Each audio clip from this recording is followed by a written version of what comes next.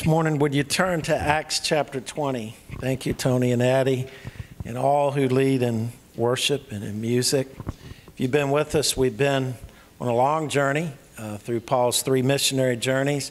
And we're coming near the close of the third of the three, and we're going to begin reading in just a moment. In Acts chapter 20, be reading verses 1 through 16.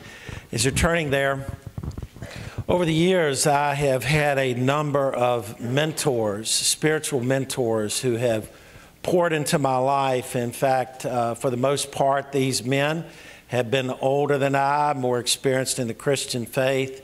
And I have been very intentional in seasons of my life of seeking this particular aspect of ministry out. The development of these relationships is very important to me. And each of these men, uh, that I actually have gone to and asked to mentor me um, is distinct, distinct in personalities, distinct in ministries and various gifts. And in fact, as I seek to add a mentor, um, in a particular area, I look for features maybe that are not in other mentors that I've had so that I can get balanced guidance in that. Some of my mentors have gone on to be with the Lord. God just planted Dr. Bill Tomlinson and Jane here for a brief season, and um, I used to laugh. I'd be knocking on that door, and Jane's probably saying, Oh, here's Rick again. He's got to get some advice from Bill. And Dr. Bill Tomlinson was always ready to give encouragement. He's a great student of the Word, so if I was struggling over a text and just wanting to bounce what it meant, I could just pick up the phone or go by and visit and say, Hey, will you look over this the next day or two? Tell me what you think about it. Then another mentor I've had was Pastor Willie Green. And Pastor Willie, years ago, I was going through sort of a downtime in ministry. It's probably been over 20 years ago. And my wife Karen said, You really need a, a mentor. And God, at that time, had put a dear friend of my father's across my path, uh, Pastor Willie Green. And a lot of y'all know him. He really. Um, increased my love for the study of the Old Testament. That's something he contributed to me. And, and more than anything, when Pastor Willie went through difficulties, and uh, I was talking with a friend, Fred Krushwitz, the other day, Pastor Willie never had very much money, but God always took care of him. But whenever you saw Pastor Willie, there was always a smile. I went to visit him actually the day that he passed.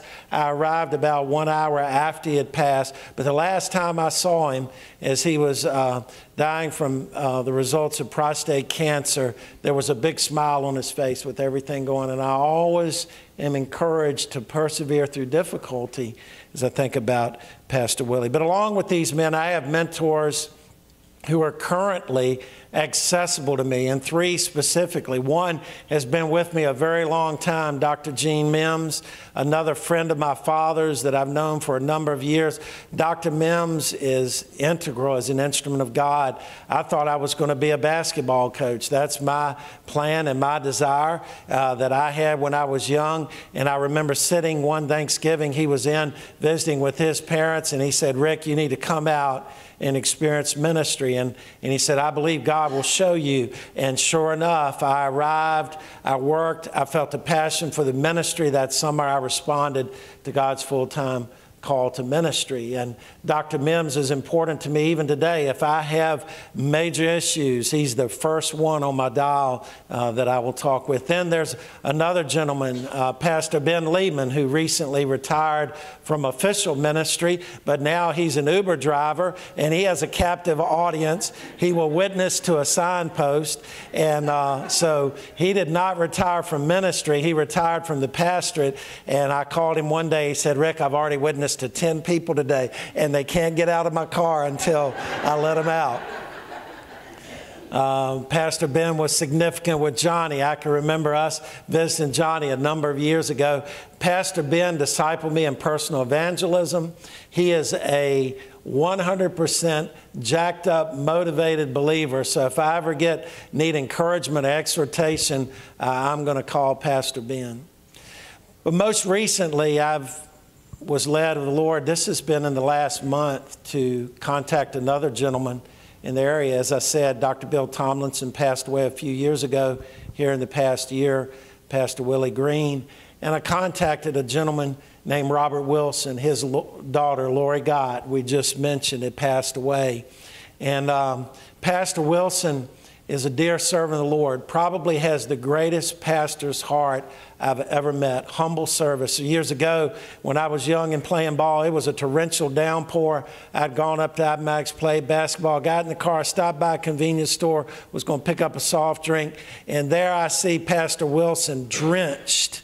I mean, didn't have an umbrella or anything. I said, Pastor Wilson, where you been? He said, I've been out knocking on doors. And I felt convicted of the Holy Spirit this servant of the Lord. What a gentle man. And, and now in his retirement, something very unusual has happened. He's gone back to Evergreen Baptist Church and in his 70s is serving as an associate pastor under someone else. How many people would do that? That tells you the type of man that he is. And, and I needed somebody nearby that can provide that type of counsel. And so mentors have been very important in my life. I hope that you have mentors. I hope that you have individuals that you can call upon uh, that can encourage you.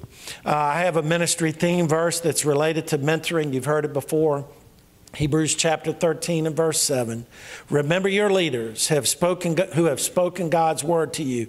As you carefully observe the outcome of their lives, imitate their faith. Now, I don't have time to parse out that verse, but I challenge you take it section by section, allow it to speak to you, and it did. Remembering observing and putting into practice. And that's what I desire as I look at the various attributes of those God ha- has placed as my spiritual mentors. That's my desire. You know, God is good, He puts such people in our lives, but He does that and more because he gives us not only these people in our lives, in, in our, our, contemporaries, but he also gives us figures in the Bible that set great examples for us. And one of those is the Apostle Paul. And even though I've not seen the Apostle Paul with my eyes nor talked with him, I can read the historical accounts, I can read his teachings, and, and God works through his life in my life. And so today,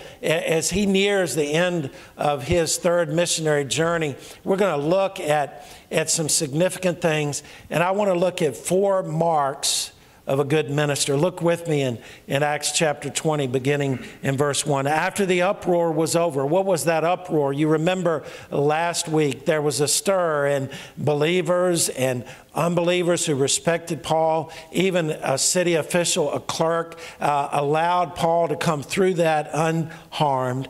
But after that uproar was over, here he was in Ephesus. Paul sent for the disciples, encouraged them, after saying, farewell, he departed to go to Macedonia. He's leaving Ephesus. And when he had passed through those areas and offered them many words of encouragement, he came to Greece and stayed three months. The Jews plotted against him when he was about to set sail for Syria, and so he decided to go back through Macedonia. He was accompanied by Sopater, son of Pyrrhus from Berea, Aristarchus, and Secundus from Thessalonica, Gaius from Derbe, Timothy, and Tychicus, and Trophimus from the province of Asia. These men went on ahead and waited for us in Troas, but we sailed away from Philippi after the Feast of Unleavened Bread. In five days, we reached them at Troas, where we spent seven days.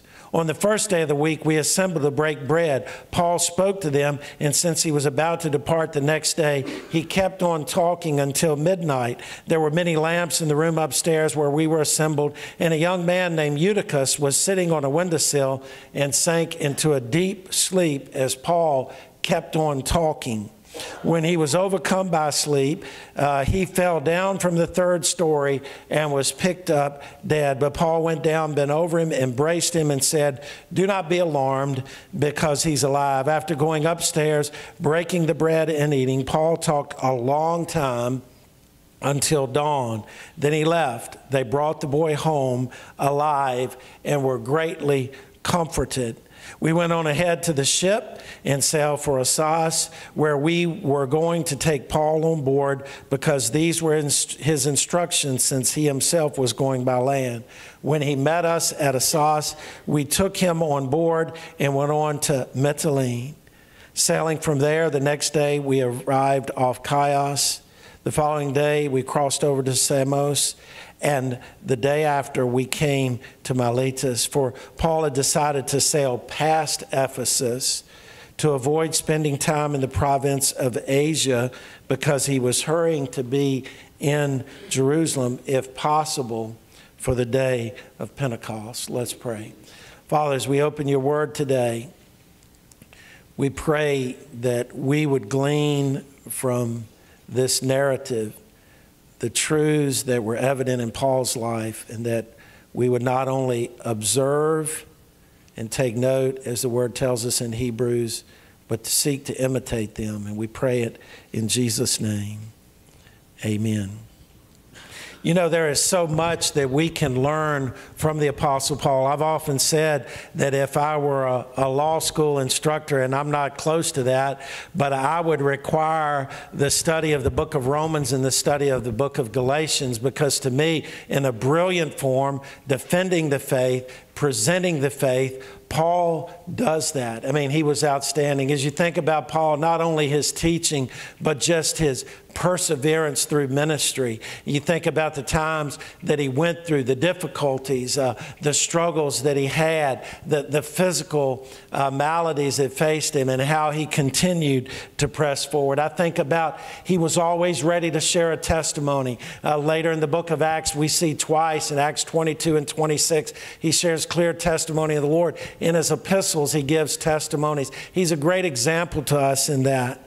And, and then just the person that he was. He, he had a boldness, he had a conviction. He was a great example of what it means to be a Christian. But, and there's so much we can look at in regard to Paul. But today in our text, I want to note four things that we can gain from studying Paul's life here. And, and, it's really words to the minister. I almost hesitate to use the word minister because you might tend to check out, okay, it's a professional minister. And I'm talking about any person who desires to follow Christ. I think there are four things that we can glean from Paul that are important here today. And the first is this Paul sought out close fellowship with select individuals. Now, chapter 20 begins by telling us that the uproar we studied last week was over. After that, Paul felt like his time, which had been three years in Ephesus, had come to a conclusion. He felt led, as we saw last week, to gather that offering that was collected from Macedonia and Achaia and make his way back to Jerusalem. And so, earlier here in chapter 20, he is giving his goodbyes and his farewells to those in Ephesus. The scripture says that he leaves for Greece, where he stayed for three months, and then his intent from there was to set sail to Syria and make his way down to Jerusalem. But there were Jews who were still chasing him. And so he felt threatened. In a very interesting way, he, he took a circuitous and very long, roundabout way to make it to Jerusalem. It must have been very clear to him that his life was threatened because instead of sailing a direct line to Syria, the scripture says he goes back around through Macedonia, back around and heading down that particular way. But I don't want to focus so much on the journey that he took. I want to focus for just a couple of moments on those who traveled with him. We see eight people included here. Luke would be one of them. This is part of what's called in the book of Acts the we sections. Luke is writing Acts. There are times when he speaks in uh, the uh, third person, like he went out, they went out, but then there are times when he spoke in the first person plural. And that meant that during this part of the journey, Luke was with uh, Paul. But not only Luke, but we see seven other individuals from different areas that Paul had, had visited during his three missionary journeys had joined them. And what we learn from this is that Paul was not just about large gatherings like this, it was not just those things that fueled him, but Paul was investing in individuals in small groups. And I picture as they're traveling the dialogue that's going on among Paul and these eight members who were traveling with him. And really, as I was thinking about it this week, uh, why did Paul just include these select individuals. And really, I think there's a simple twofold reason. Now, there may be more specific, but I'm just speaking generally here. And I think the way I can illustrate it is by sharing a family illustration of my maternal grandmother. Uh, Bobby Showalter back there will remember my granddad. Uh, and on Saturdays, my granddad would come by, Bobby said, and visit him at the shop. And my grandmother would travel and go to Rose's or whatever. There was a reason that my grandmother traveled a lot with my granddad when he wasn't working. My grandmother was afraid to be alone. Uh, she was adopted as an infant. A preacher in Pamplin saw a couple in Evergreen and said, I've got a cute little baby with brown eyes that doesn't have a home. Uh, there wasn't a formal way of adopting. They just took her in as a foster child. But my mother, who had a much older sibling uh, that lived and, and passed away in Cumberland County, was always a fearful person. She did not like to be alone.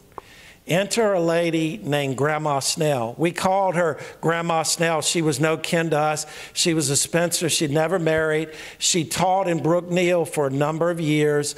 Uh, she had one sister who was working that could not keep her, and so my grandmother kept Grandma Snell. Grandma Snell to me was an imposing figure. I don't know how tall she was. I was about seven or eight. She seemed to be about six foot eight. I mean, she was a tall lady. Uh, she was stone deaf. She could not hear any, and, and and she would try to audibilize words, and it would be muffled and it would be very loud. It was before you had the intricate uh, detail of hearing aids today and I love Grandma Snell, but I had to get adjusted to her, her voice. And so she just became part of our family. She was no kin. And so when I would go visit Nanny during the day, Papa would be at work. There was Grandma Snell. She would be sitting there. And I'm thinking, to uh, you know, as I'm older, now, now Nanny, Grandma Snell couldn't help you. She was 80 some years old. She couldn't hear if anybody came in the house. But just having someone there was important. And, and it was only when I was adult that I realized the twofold blessing that was happening in this situation. One, Grandma Snell needed my nanny. She had no family to take care of her, and so my nanny was like a surrogate daughter to her and took care of her. The second was this my nanny needed Grandma Snell. She didn't like to be alone. And so there was a twofold blessing. So as we look at Paul here, as he's traveling with this, this group of eight individuals, it was a both and. They needed Paul. Paul was traveling with them and and as a mentor to them, he was pouring into them and instructing them because they wouldn't be traveling with him forever. They needed that instruction. But in the same way, it encouraged Paul. Now, we saw last week how believers right there in Ephesus, they were around Paul and they said, Oh, now wait a minute here. There's a, a riot. Don't get in the middle of it. So we see a twofold blessing. As we look at Paul's life, we need the fellowship of believers. We're not called to live the Christian life in, in isolation. Every one of us, we need a Paul. We need someone that we can talk to, that can encourage, that can strengthen us.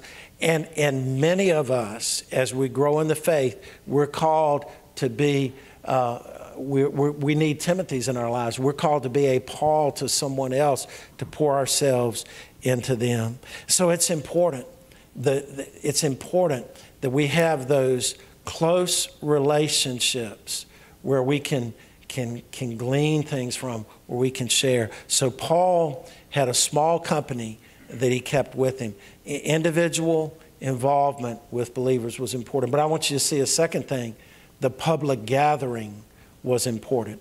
It, it, was important to him to have a few select and trusted uh, brothers in Christ who were with him, but the corporate gatherings were also important. So as he goes through the travels, we see he sends some of the men ahead to Troas, and after a few days, he catches up with them and he stays there in Troas for about a week. And, and, it says there that the first thing that he did upon arriving at Troas was he met on the first day of the week with individuals. Last Sunday uh, in Sunday school, and this has been a great series of messages on the church. And last week uh, we talked about the corporate gathering, of corporate worship, of corporate prayer, how the Christian life is not in isolation.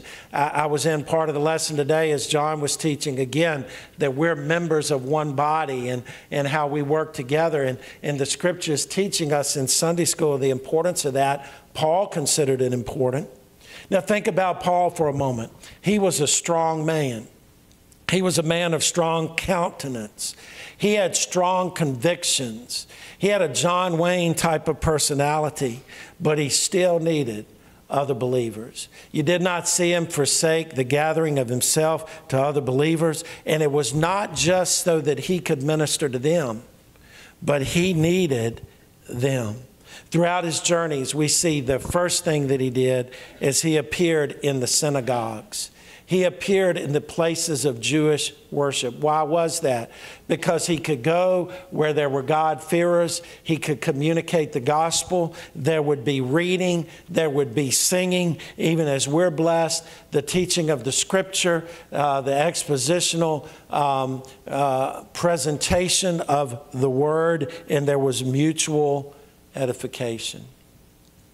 Now, if Paul sought this out first when he went into a new territory, how much more do you and I need the public gathering? We're going to look at the miracle that happened here in a moment, but before we do that, I want you to see that there was a time that they met on the first day of the week. We assembled, and not only was there a time, there was a practice now, now it says that they broke bread, which is representative of the Lord's Supper. Now, we as Baptists do this about once a quarter, and to be honest, we probably should do it more often. Uh, some churches do it every week. Maybe there's a balance somewhere between, but we see the importance of the breaking of the bread. What was that? A visual presentation of the gospel, but also there was preaching and teaching. There was dialogue, as, it, as we saw last week, where the word was expounded, where, where people were studying the word and they were growing in it. And so through the Lord's Supper, there was the visible presentation of the gospel, and through uh, the preaching and teaching, there was the audible expression of it. And so we see both. But, but, but we see in these first two things, Paul considered it important to have a few close friends that challenged him, that encouraged him, that he could pour into. He saw it important that there would be that he would be involved in larger gatherings. But a third thing we see about Paul in his ministry, he issued a demonstration of the miraculous, and we see that again here. You know, in certain seasons, um, my dad would sing in the choir. My dad had a good voice, like ah, he, he didn't read music and uh, but he could hear a song and, and pick up with it. Um, uh, I can still hear his voice when the roll was called up yonder, whenever that was sung, and he would bellow it out, and I would shrink in my seat because I was embarrassed because he was so loud. But he loved to sing. So he sang in the choir for certain seasons, and we have our choir, but uh, when we finish with our singing, we, we come back down and, and sit in the front. Uh, but most of the years my dad was in the choir, their, their choir stayed behind the pastor, which meant everybody could see him. And my dad sometimes would, as he said, rest his eyes. We said, Dad, we caught you sleeping. He said, Son, I'm just resting my eyes and reflecting. I didn't have the courage to say, Okay, tell me what the preacher said while you were resting your eyes but he was convinced. But I thought about sleeping in a choir. Maybe you get embarrassed by your children. Maybe you slump over like that. Maybe you inadvertently fall over to the side and bump the shoulder of the person next to you. There's not much harm in that. But I would not advise sitting in the third floor in a building in an open window and falling asleep. And that's what happened to Eutychus here. Eutychus was a young man, maybe even a teenager. He fell asleep. Paul had preached for a long time and he came back. Did you realize that? It was about, he came back and preached even longer after somebody dropped dead at the result of his preaching. But, but, but this young man, Eutychus, this young man, Eutychus, died. Paul went to him. Everybody thought he was dead, and he was raised to life. And that was a miracle again. He embraced him, verse 10 said, and he rose to life. Simply put, that was the power of God working through Paul's life. And we've talked about the miraculous. And there are dangers at both extremes. There's the danger of saying God doesn't do miracles anymore. Well, I can tell you that's wrong. And there's the danger of going to the other extreme of looking for a miracle happening behind every bush and every Sunday, because if that were to happen, by very definition, it wouldn't be a miracle because a miracle is an unusual occurrence. We have talked about the importance and how we learned last week as we studied about the rich man and Lazarus, as, as the rich man was in dialogue with Abraham, and he said, Send somebody back, send me back from the dead to my brothers, send somebody back so they'll believe. What did Abraham say? I'll do it? No, he didn't. He said, They have the law in Moses, they have the word of God. And so it's very important for us to know that we're not to be spectacle seeking when we have the very Word of God in our hand. And there's power in the Word of God to convict of sin and convince people of the truth. The Word is more powerful than any miracle. The Word can transform a life forever. It says in the Scripture uh, that, that everything passes away, but the Word of God abideth forever. Now, this man was raised by a miracle, but he would later die. It wasn't a resurrection, it was a resuscitation, for lack of a better word. He was raised only to die again. He needed what the gospel could give him, which was eternal life. I like what uh, another mentor I have that I never met that's gone on to be with the Lord, but I've heard his ministries, Adrian Rogers, and we've said it before. He, he said it recently. If you followed him, believe in miracles, but trust in Jesus. Don't trust in miracles. They can come and go. Trust in Jesus, He's constant. And so, whether you perform miracles or not, the thing we need to gain from Paul here, there was a power emanating through his life because he was committed to the Lord Jesus Christ. Would that you would pray, God, may your power be manifest through me today when we wake up in the morning. And God may not have you raise somebody from the dead, but there may be a power that is undeniable that will impact other people. Too many times we as Christians are living wimpy lives when we should be living in the power of the Holy Spirit. God, manifest your power through me. It's something to pray for yourself, for your family. And so we see that Paul. Uh, in his ministry carried out the miraculous, the power of God was manifest. But I want you to see a final thing. Paul's ministry was priority driven. To say yes to some things, we have to say no to others. I'm learning that even in years of ministry. To be able to say yes to some things, we have to say no to others. As humans, we're limited in our strength. We can't be two places at one time. Uh, it's better to do one thing or a few things very well with great vigor than it is to try to do many things and not do them so well. The thing that impressed me about Paul throughout all of this was he stayed on point. Remember when he had, we looked a few, uh, probably a couple of months ago, when we looked at the, the, the division between him and Barnabas, man, that, that could have that could have been catastrophic. They, they could have just packed the, packed the tents up and said, hey, we're done. But he didn't allow that to keep him uh, from moving forward. Remember, uh, with all the opposition that he's faced when people would try to threaten him, he either just stood strong and did what he was doing, or if he had to move, he kept on with the ministry. He stayed on point.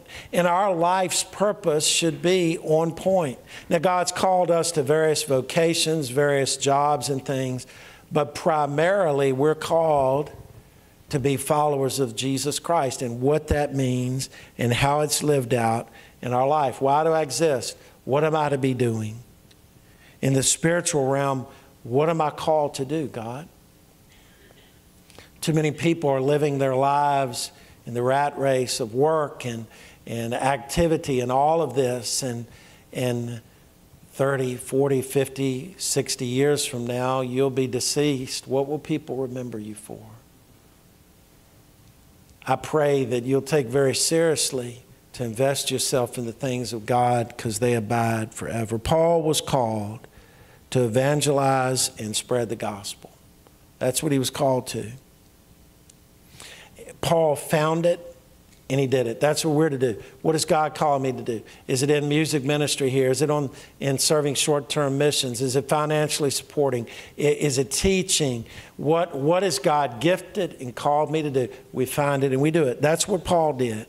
And, and, and, we're not to be distracted by, by bad things, discouragements, things like that. Paul wasn't discouraged over an earlier division. He kept on with the task. Paul wasn't discouraged from the opposition from the Jews. He kept with the task. He wasn't affected by physical threats. He continued to carry out the task. He wasn't distracted by the bad things, but he also wasn't distracted by the good things. And we see one of those here. Look at verse 16. At this point, Paul had completed the ministry at Troas. And again, sticking to point, even when this man passed away, he didn't just say, Well, that's the end of the service, see y'all. But he realized his time was only a few days in Troas compared to many years in Ephesus. He maximized the time. He stayed until sunup and continued with the task of the gospel. But then he left Tro- Troas and he was heading to Jerusalem. And look at verse 16. For Paul had decided to sail past Ephesus to avoid spending time in the province of Asia because he was hurrying to be in Jerusalem, if possible, for the day of Pentecost.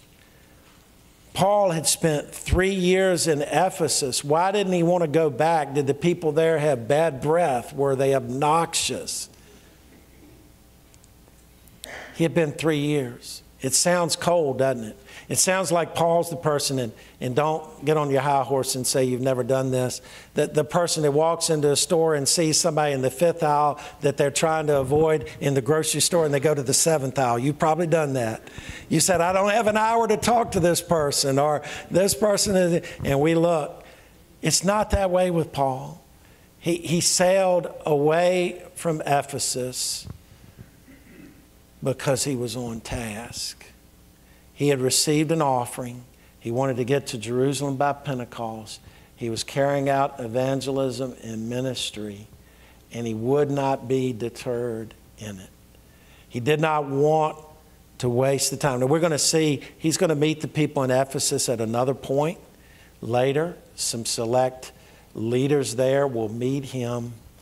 But Paul had a task, and he would not be deterred. He lived his life on point. How are you living your life? Are you just sucking in oxygen and breathing out? Or are, are you just uh, living day to day in the daily grind without thinking? Or are you living your life in the power of God on point? That's what Paul did. You know, one thing I'm very serious about is seeking out spiritual mentors. I, I spend time on that, more time on that than I do a, a lot of things in my spiritual life. I, I'll be honest about that. Why is that so important? Because I need them. I can learn from them. I can glean things from them. Those who've gone on to be with the Lord, I, have thought, what would they do in this situation? We need it. But God has blessed us in the scripture with individuals like Paul that we can follow just as Hebrews 13 7, we can observe the outcome of their lives and imitate their faith. What are the things that we see from Paul here? The importance of having close, select brothers or sisters for you ladies in the Lord that can encourage us in the faith. Being involved in the corporate fellowship, which means even when we don't feel good on Sunday, we get up. I, I, heard the funny story that was told a wife and a husband get, get out of bed on Sunday, and the wife is up and she's ready to go to the church, and she's punching the husband, saying, Get up and let's go to church. He says, I don't want to go to church. She says, You have to go to church. You're the preacher.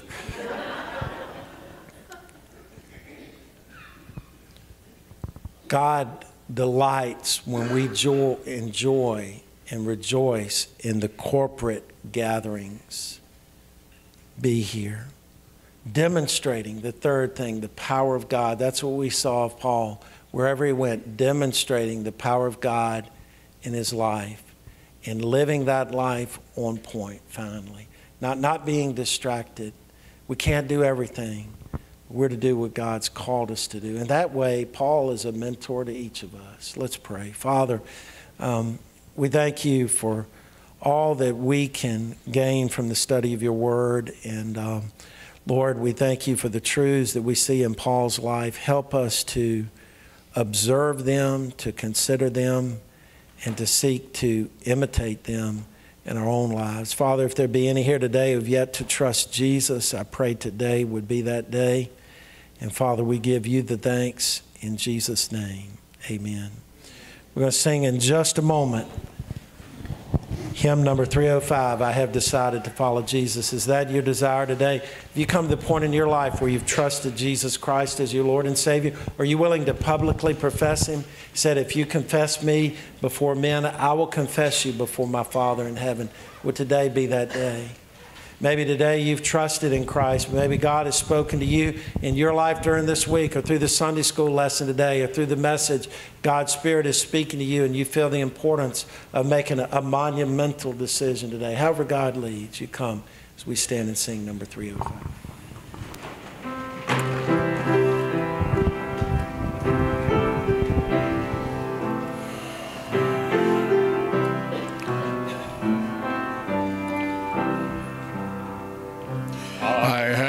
Decided to follow Jesus. I have decided to follow Jesus. I have decided